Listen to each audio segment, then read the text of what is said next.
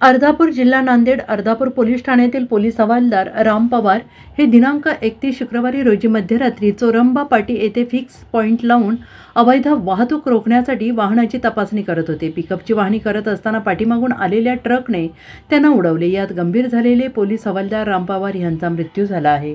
राम पवार यांच्या डोक्याला जबर मार लागल्याने त्यांना जखमी अवस्थेत अर्धापूर येथील ग्रामीण रुग्णालयात दाखल केले असता डॉक्टरांनी त्यांना मृत म्हणून घोषित केले. हवालदार राम पवार हे फिक्स पॉईंटवर पिकअप क्रमांक एम एच वीस ई जी अठ्ठ्याहत्तर चव्वेचाळीस या वाहनाची तपासणी करीत असताना पाठीमागून आलेल्या आर जे शून्य नऊ जी सी नव्याण्णव पंचेचाळीस क्रमांकाच्या ट्रकने राम पवार यांना उडवले.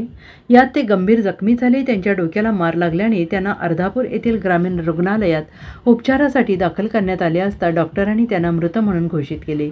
आणि या अपघात प्रकरणी गुन्हा दाखल करण्याची प्रक्रिया अर्धापूर पोलीस ठाण्यात सुरू असल्याची माहिती पोलिसांनी दिली आहे. या घटनेची माहिती कळताच पोलीस अधीक्षक अप्पर पोलीस अधीक्षक उपविभागीय पोलीस अधिकारी नांदेड ग्रामीण यांनी घटनास्थळी भेट देऊन घटनेची माहिती घेऊन पिकअप दोघांविरुद्ध गुन्हा दाखल करण्याची प्रक्रिया अर्धापूर पोलिसात सुरू असल्याची माहिती पोलिसांनी दिली आहे.